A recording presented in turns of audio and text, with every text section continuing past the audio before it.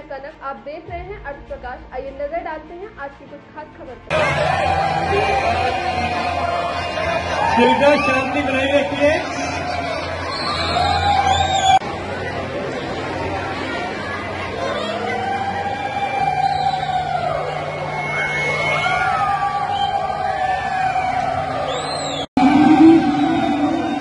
संत भर परदेसी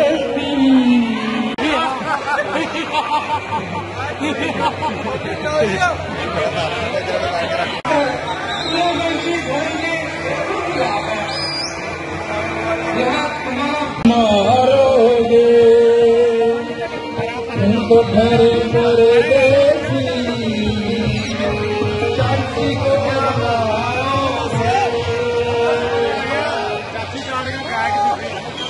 चाची नंबर नहीं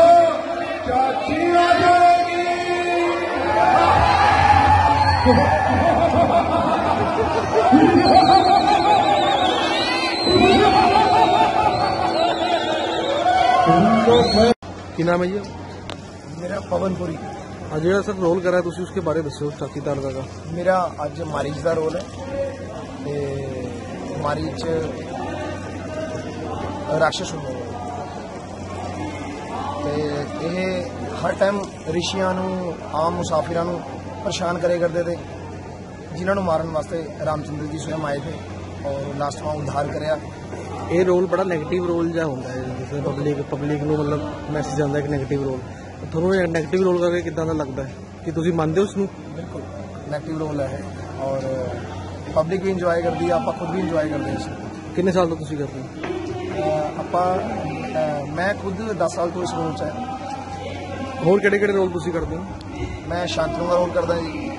ਤੇ ਇਸ ਵਾਰ ਫਸਟ ਟਾਈਮ ਸਟਾਰਟ ਕਰਿਆ ਹੈ ਬਾਲਮੀਕੀ ਜੋ ਰਮਾਇਣ ਸਟਾਰਟ ਕਰੀ ਹੈ ਬਾਲਮੀਕੀ ਜੀ ਦਾ ਰੋਲ ਮੈਂ ਕਰਿਆ ਆਖਿਰ ਦੇ ਵਿੱਚ ਤੁਸੀਂ ਕੀ ਕਹਿਣਾ ਚਾਹੋਗੇ? ਕਿਉਂਕਿ ਯੁਵਾ ਕਿਤੇ ਨਾ ਕਿਤੇ ਰਾਮਲੀਲਾ ਤੋਂ ਹਟਦੇ ਜਾ ਰਹੇ ਹਨ ਅੱਜ ਕੱਲ੍ਹ ਦੀ ਜਨਰੇਸ਼ਨ ਜੇ ਤੁਹਾਡੀ ਉਮਰ ਦੇ ਬੰਦੇ ਹੈ ਤਾਂ ਕਿਤੇ ਨਾ ਕਿਤੇ ਹਟਦੇ ਜਾ ਰਹੇ ਰਾਮਲੀਲਾ ਤੋਂ। ਨੌਜਵਾਨ ਨੂੰ ਤੁਸੀਂ ਕੀ ਮੈਸੇਜ ਦੇਣਾ ਚਾਹੋਗੇ? ਇਹ ਸਾਡੀ ਜੜ ਹੈ।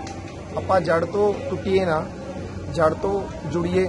ਸਾਡੇ ਬੱਚੇ ਅੱਗੇ ਜੋ ਵੀ ਜਨਰੇਸ਼ਨ ਹੈ ਉਹ ਉਹਨਾਂ ਨੂੰ ਵੀ ਲੈ ਕੇ ਆਏ। ਸਾਰੇ ਜੋ ਵੀ ਸਾਡੇ ਬਜ਼ੁਰਗ ਹੈ ਜੋ ਵੀ ਬੱਚੇ ਹੈ ਉਹਨੂੰ ਅੱਗੇ ਕਰੋ ਇਹਨਾਂ ਵਾਸਤੇ ਦਿਖਾਓ ਇਹ ਚੀਜ਼ਾਂ ਤਾਂ ਕਿ ਉਹ ਸਾਡੇ ਆਪਣਾ ਧਰਮ ਨੂੰ ਜਾਣੇ।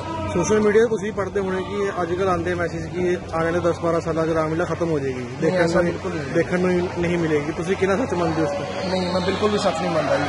ਹਰ ਸਾਲ ਦਰ ਬਦਰ ਇਸ ਦਾ ਕਰੇਜ਼ ਵੱਧਦਾ ਜਾ ਰਿਹਾ ਹੈ ਔਰ ਰਾਮਲੀਲਾ ਚੰਡੀਗੜ੍ਹ 'ਚ ਤਾਂ ਬਹੁਤ ਜ਼ਿਆਦਾ ਵੱਧ ਚੁੱਕੀਆਂ ਹੈ ਪਹਿਲਾਂ ਤੋਂ ਜ਼ਿਆਦਾ।